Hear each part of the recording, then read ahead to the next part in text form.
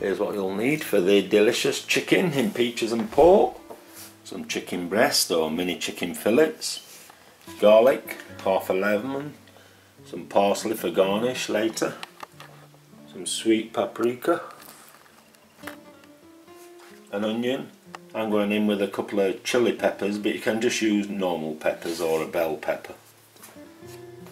Some olives, port and peaches of course, some curry powder and some turmeric. First thing we're going to do, cut your chicken up into nice bite-sized chunks. Get a bit of vegetable oil in your pan and in with your chicken.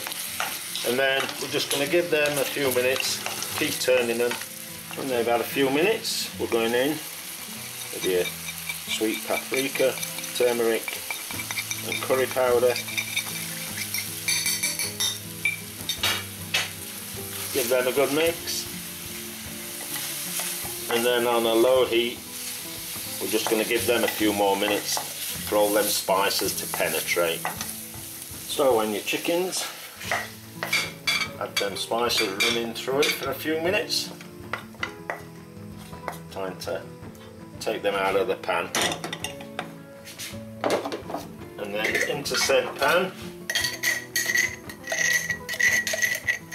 just put a bit more oil and then into there with your onions and your peppers. And again we're going to give them a good few minutes until your onions become sort of semi-translucent.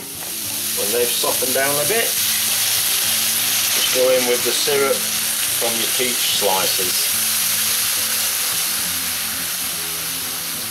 and give them a few more minutes when that's reducing down nice, nicely, going in with some salt and pepper and your olives that you're cutting off, your peach slices and your port.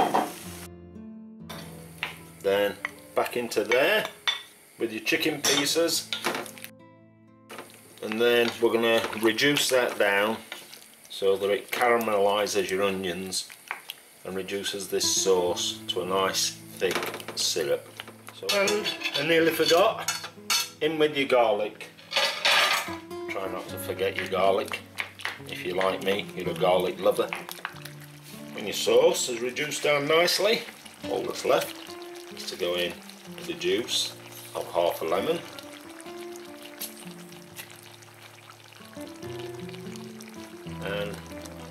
finish it off with a few sprinklings of parsley and then serve it up with whatever accompaniment you want and get stuck in.